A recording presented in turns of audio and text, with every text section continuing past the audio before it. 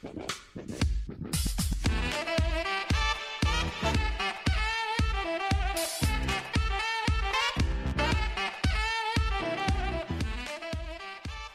everyone, and welcome back to another one of these screencasts. This is a super fast one. It's a super easy one. I'm sorry if I sound a bit American there, but it really is super, super, super duperly easy.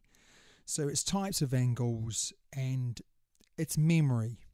Okay, hopefully I'll give you some little bits and pieces that are going to help you with that memory, but different types of angles. So we, we can name angles certain things. And some of the easiest questions we can have on maths is name this type of angle. So we're going to go through those now. The first one is little uh, clue for you is when we think of that, when we look at that picture, what do we think? We think, what a cute dog. And this angle is less than 90 degrees and it's called an acute angle. Okay, so when you have one of those small angles less than 90 degrees, we can say that's an acute angle. The next one is when it's bigger than 90 degrees but less than 180, when we have a picture of this, we could say that this is obtuse. Okay, obtuse. So it's bigger than 90 degrees. Okay, remember we're going from 0 through 2, so we've got 140 degrees on this one, and that is called an obtuse angle. So anything between the range of uh, 90 to less than 180 equals an obtuse angle.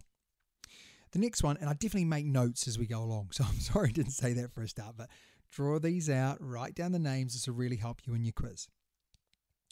The next one is when we've got an angle that goes, and I haven't drawn it here, but it goes all the way around like that. So this is more than 180 degrees, but it's not um, 360 degrees because there's another name for that one. This is called, and when we think of, of this picture, we think this person's very flexible and this is a reflex angle okay? Because it's not just it's it's more than 180 okay? Reflex angle. Different types of angles. This one here can we see it? Straight across. This is a straight line so when we see that we can think of straight line and we should know that a straight line is worth 180 degrees we can going from 0 right through to 180 that's called a straight line. Different types of angles. The last one of our set of angles that we're going to call. This one is all the way around and we call this one a full turn because we're going all the way around. So we've got 180 degrees plus 180 degrees. That gives us 360 degrees. So a full turn is worth 360 degrees and it's called a full turn. Now it's time for the quiz. So if you haven't made notes, I would highly recommend going back and making notes because all it's going to be is name this type of angle. Okay. Name this type of angle. That's what the quiz question is going to be.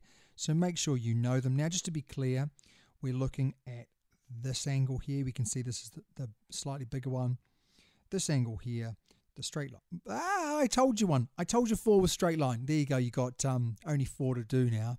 I'm sure you knew that one anyway But pause the video, give them a go, come back and see if you've got them right. Really is going to be nice and simple. Hopefully you know them all. If you don't know them all, you do need to go back and watch and make notes. Hopefully you do. Here we go. So we've got an obtuse for a start. We've got reflex all the way around. Remember, it's more than 180. Obtuse is, is more than 90 uh, or 90 more. Uh, an acute angle less than 90 a straight line worth 180 and a full turn with 360. Hopefully, you got all of those correct. This hopefully has been one, I'm saying hopefully a lot, has been one of the fastest screencasts you've ever done. Until next time, make sure you take some notes, do a revision card. But it's been an absolute pleasure helping you with your maths today. I'm sure you've got better today.